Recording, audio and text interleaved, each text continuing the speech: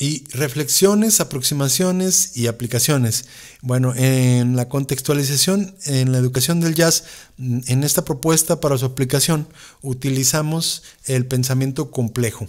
Eh, con este vamos a diagnosticamos las problemáticas en sus respectivas dimensiones y estas dimensiones, como ya mencioné, pasan por distintos contextos, el institucional, el curricular, el metodológico y el didáctico. En el contexto institucional Existen problemas que no se pueden pasar por alto ya que engloban, por ejemplo, modelos de estudios que pueden ser rígidos o flexibles, infraestructuras que pueden ser aptas o no, y la operatividad que está sujeta a personal, mantenimientos, a recursos económicos y a su óptimo uso, que es en sí uno de los aspectos más complicados, porque en gran parte la calidad de la educación depende muchas veces de la oferta económica y las condiciones de trabajo que se le otorgan a los personales administrativos, docentes y operativos. En el contexto curricular, Estamos sujetos a un entorno institucional que indica de facto la duración de las clases, los semestres, las carreras, así como también los contextos que nos pueden proporcionar la misma realidad. Esto, como hemos visto, lo podemos medir o saber por medio de la información con nuestros egresados para conocer de primera mano cuáles son las áreas de oportunidad que pueden repercutir de manera efectiva en su inserción al mercado laboral. Por lo que también es necesario realizar o revisar investigaciones sobre el mercado laboral que sean pertinentes con la actualización, con la actualidad del entorno.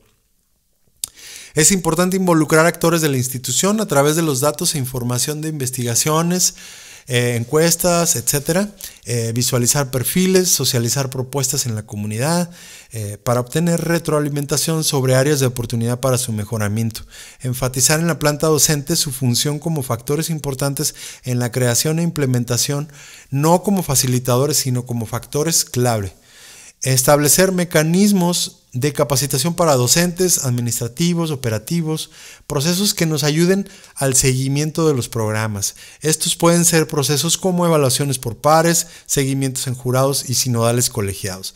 Acciones que faciliten la actividad artística de los docentes para pasar de los conocimientos en el aula a la transmisión de otros saberes axiológicos importantes en el desarrollo de los alumnos, mecanismos de evaluación contextualizados acorde a las escuelas de artes y sus objetivos. El contexto laboral de la industria de la música, bueno, un factor importante para la contextualización es, como mencionamos, realizar o revisar investigaciones acerca, en este caso, del mercado laboral, con los cuales podamos hacer reflexiones y tomar decisiones sobre las acciones que podemos emprender para mejorar áreas de oportunidad en el currículo o estrategias transversales de acciones. La percepción... Eh, en este caso, por ejemplo, la percepción media de los músicos en México por hora es de 86.1 pesos, en las cuales, según los datos, el 89% se desenvuelven como ejecutantes, el 8.3% como cantantes y el 2% como compositores y arreglistas. Esto según una encuesta del INEGI del 2014. Según un estudio de la Universidad de Queensland de Brisbane, Australia, señala que la industria en realidad está dividida en tres industrias la de la venta de grabaciones discográficas, la de licencias musicales y por último la de las presentaciones en vivo. En cambio, el, cambio en la industria de la música en los últimos 20 años conlleva el surgimiento primero de los sitios de descarga de música a principios de siglo y del streaming, como modalidad más frecuente utilizada por las audiencias, lo cual conlleva un cambio total en la cultura de la industria musical, que pasó de basar el modelo de negocios en la venta de discos en el siglo XX a un modelo más centrado en los derechos de reproducción y licencias mecánicas en Internet. Por lo que es necesario implementar contenidos que hablen al respecto.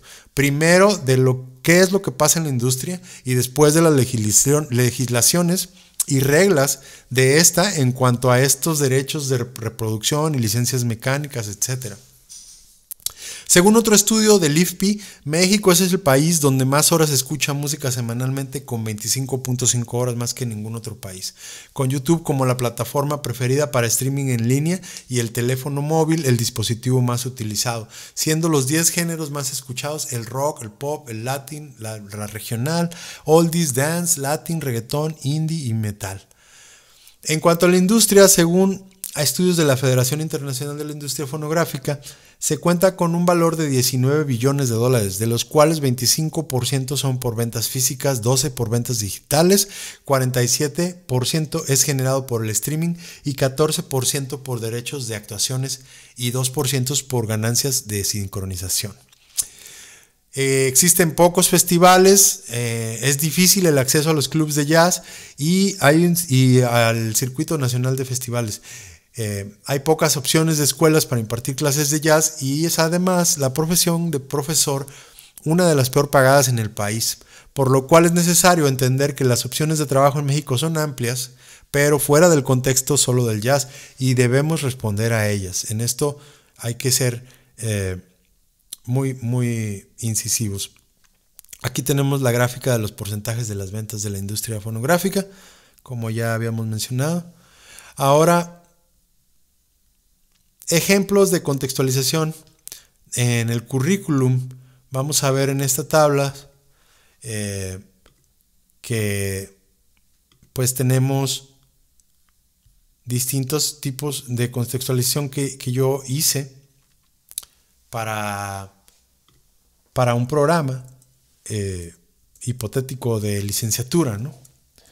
Eh, en el cual Estoy hablando acerca de, un programa que hice tratando yo de interpretar los datos que recibí de las encuestas y hablando un poquito acerca de eso. Por ejemplo, en este primer semestre mm, vamos a ver que, por ejemplo, a fundamentos históricos de la ejecución, em, a historia de la música universal, historia de la música mexicana, em, entrenamiento de eh, fundamentos del lenguaje, creo que en esta parte es, más que nada para establecer bases eh, en, un programa de jazz, ¿no? Los primeros años, los primeros dos años. Luego, en el semestre 4, ya empezamos con más el lenguaje del jazz, con el bop, bebop. Luego, el instrumento complementario, eh, que puede ser libre. Luego, ejecución del lenguaje rítmico e interacción en el ensamble, en el bebop y luego conceptos armónicos del jazz en el post-bop. Después en arreglo, arreglo sobre ensambles pequeños, historia del pop, que ya es introducir un poco de lo que decíamos sobre el mercado laboral, eh, por lo menos conocer también los distintos estilos del pop, también el, pop y la música popular también eh, en, general, ¿no? La historia del jazz en Latinoamérica y bueno, eh, aquí ya se van poniendo algunas cosas que son de, de arreglo, composición.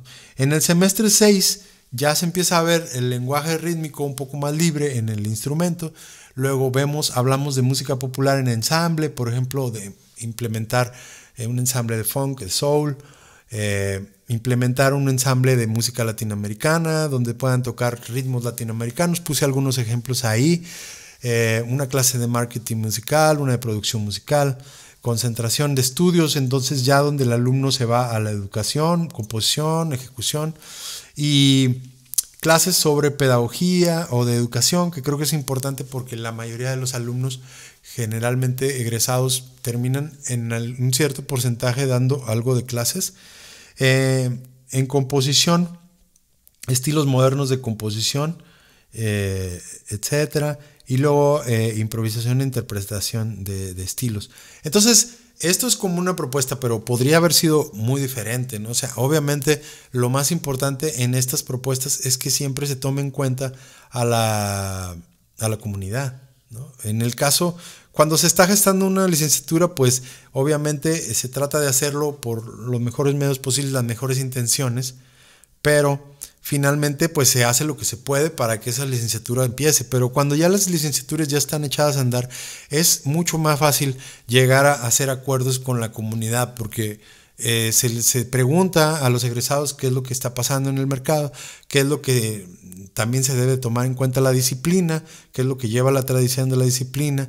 El mercado, pues ya vimos, ya sabemos que es la música popular, la música eh, eh, la música comercial, también hay, hay cosas culturales que son nuestras identidades como latinoamericanos, etc. Y también hay cosas que son inevitables, que se tienen que ver en, en marketing, que se tiene que ver en gestión, que se tiene que ver educación, que se tiene que ver varias cosas, ¿no? Entonces, pues el contexto metodológico y didáctico, ya en este contexto, este nos ayuda a llevar al salón de clases estrategias necesarias para la apropiación del conocimiento. Es decir, esta dimensión de la educación podemos contextualizar de muchas formas. ¿no? Es distinto a a los otros contextos que habíamos visto, el institucional y el curricular, porque en el contexto metodológico y didáctico ya estamos en el aula y podemos contextualizar a través de las mismas inquietudes de los alumnos, a través de conocer sus habilidades, bagajes anteriores, historiales académicos, talentos, dificultades. En el caso de las clases grupales podemos, por ejemplo, contextualizar grupos pequeños, grupos de trabajo, fomentando la sociabilización, la expresión entre los alumnos para que puedan externar sus bagajes, inquietudes, etc. En muchos casos estos datos nos van a brindar herramientas muy útiles a la hora de poner ejemplos en el aula. Incluso esta misma contextualización, como ya dijimos en unos ejemplos anteriormente acerca de, por ejemplo, en la clase de teoría, utilizar a Cole Porter, pero también utilizar a Agustín Lara, utilizar este, música eh, de Pam Metini a lo mejor, pero también utilizar música de, de John Mayer, ¿no? O algo del contexto cultural, tal vez del momento también, ¿no? Eh, entonces, eh, esta misma contextualización también puede hacerse en función del mismo lugar en donde se está impartiendo, ¿no? la licenciatura o la, o la carrera, ¿no? Por ejemplo, en este, en, este, en este, ejemplo de contextualización metodológica y didáctica, utilicé algunos ejemplos relacionados con bagajes o entorno cultural del son jarocho eh, para contextualizar de manera efectiva, adaptando nuestra metodología en función de familiaridades que tienen que ver con el alumno o el lugar, como ya dijimos. ¿no? En donde, por ejemplo, desarrollamos o exponemos un ejemplo como la síncopa, que estamos hablando en una clase, pero lo contextualizamos con el entorno cultural del son jarocho, como en, esta imagen que estamos viendo. Em, y de esta forma, pues no tiene que ser precisamente este, este estilo de música o este género, sino que también puede ser cualquier otro, otro, otro género. Puede ser un, género pop, puede ser un género rock, etcétera, o, norteño, o de cualquier lugar. ¿no? La cosa, el asunto es contextualizarlo basado en el alumno individual o en un grupo, en, en un lugar donde estemos.